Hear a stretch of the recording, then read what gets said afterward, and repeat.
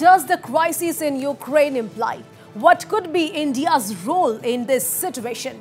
Is a far bigger escalation on the cards?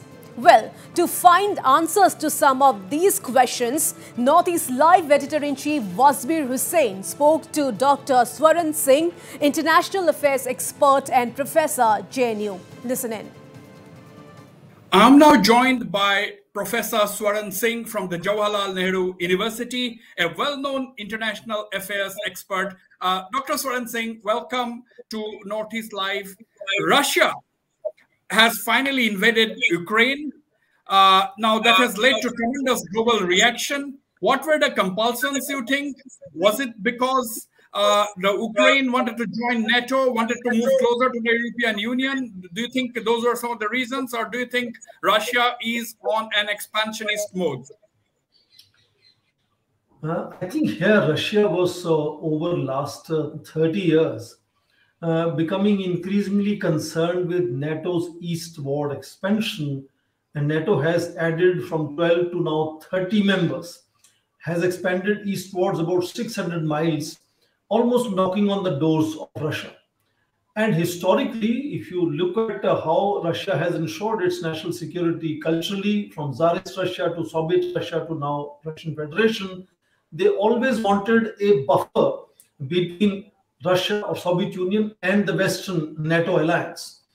And that buffer was disappearing over a period of time. And gradually, with the talk of Ukraine uh, also joining NATO or European Union, potentially NATO forces or uh, nuclear weapons could be deployed on the borders of Russia. And that had put Russia enormously uh, in terms of uh, anxiety about it. And over a period of time, I think the domestic politics of Ukraine also changed until 2014. There used to be pro-Russian leaders, uh, uh, and you remember yes. enormous uh, the protests and the change of leadership, and the new leader, President Zelensky, now is seen as pro-West.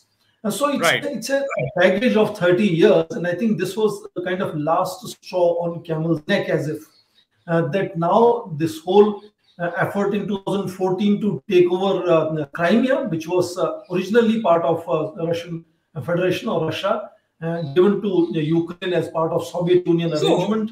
So, so Professor, Professor, you know, 2014, as you said, 2014, when the Moscow-friendly president in Ukraine was ousted, uh, you know, the Russia got jittery, and as you said, they, they annexed the Crimean Peninsula. They also backed an insurgency in the predominantly Russian-speaking Donbass area, Donbass region.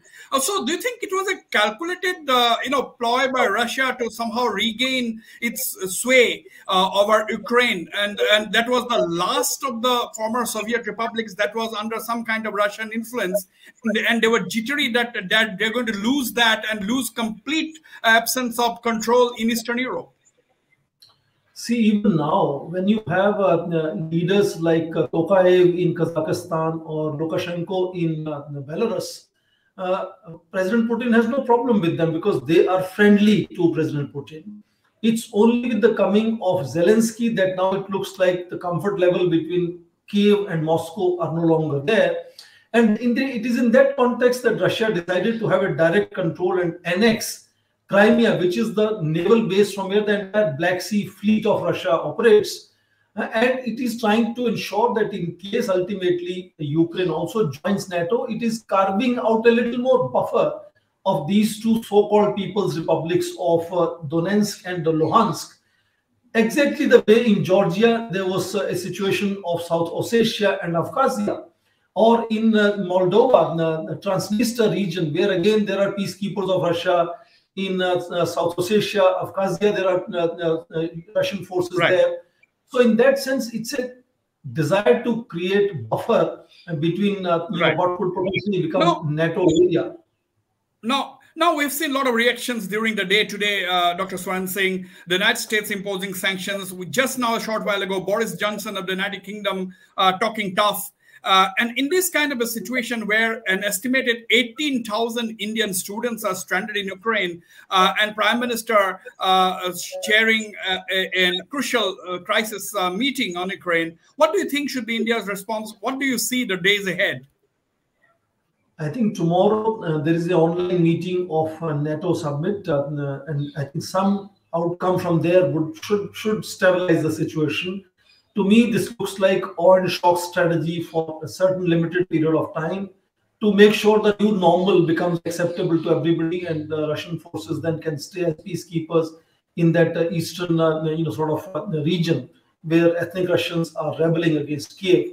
But as far as India is concerned, India has enormous credentials of taking out Indian citizens or even other people from very, very difficult situations in the Middle East earlier.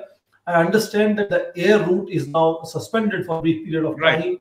So the routes that are now being uh, explored are either to you know, allow Indian students to move to the western cities like Lviv and from there to Romania and Poland, uh, or uh, you know today President Putin spoke to the Turkish president also Erdogan, and they're trying to make sure that, that, that the uh, Bosphorus uh, states remain open and access to outside from Black Sea can be another possibility. Indian Navy has done such in Middle East earlier of protecting citizens using its ships there. Uh, but I think I want to underline also the fact that uh, both Ukraine and Russia sees India as a friend. So you know there's there is not a situation of panic unless, which is a remote possibility, that the escalation continues to grow in terms of vertical more violence happening on the ground, I think there is a possibility that Absolutely. India would be able to protect its citizens. Now, my final question to you, uh, Professor Swaran Singh. Uh, you know, this is considered as the biggest, uh, you know, attack by one state on another in Europe since the Second World War. Uh, so, do you think do you see an end to this escalation, and do you think India has a huge role to play? Uh, I think uh, neither NATO nor Russia can afford escalation. So far, all NATO operations after the end of Cold War have been in peripheral areas with smaller countries like uh, Iraq, Libya, Syria, and Afghanistan. Uh, it has not really taken on a, a, a, big power, and we are talking here of a former superpower.